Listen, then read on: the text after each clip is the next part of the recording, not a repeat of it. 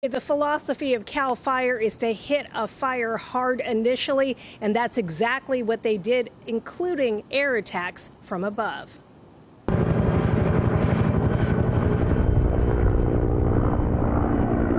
I drove in to our house out here and unloaded my groceries, and in that time walked out, and there was about three quarters of a mile of flames going across that field. Locals say a vehicle with a flat tire putting off sparks may have caused a fast moving grass fire to ignite, which scorched more than 500 acres off Sunset Avenue in rural Roseville Monday afternoon. We're unsure on the cause, whether or not it was vehicle a chain dragon, we're, uh, flat tire. We're not sure on that. That's still under investigation. The Amoruso fire put up a lot of black smoke and flames at its initial start, causing some fear to nearby residents. People don't realize all this dry grass that's actually winter feed for cattlemen like us. Yeah. And so you know, they, go, oh, just let it burn. No, don't just let it burn. Put it out. The grass is super dry. Fire's going to move very quickly in dry grass. Along with, we had a, a, a little bit of a wind on it, which uh, hampered our uh, suppression efforts in the beginning a little bit.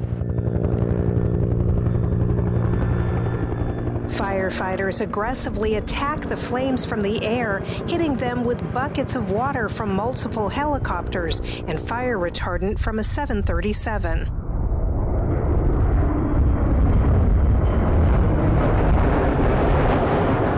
Crews did a great job along with uh, the air resources to contain the fire today. We're always kind of on fire alert all when all the dry season out here. You just have to be, yeah. you know. And CAL FIRE did a terrific job keeping those flames at just about 500 acres.